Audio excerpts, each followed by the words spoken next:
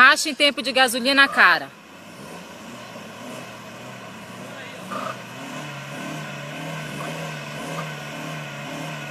Tá mais gasolina chega aqui.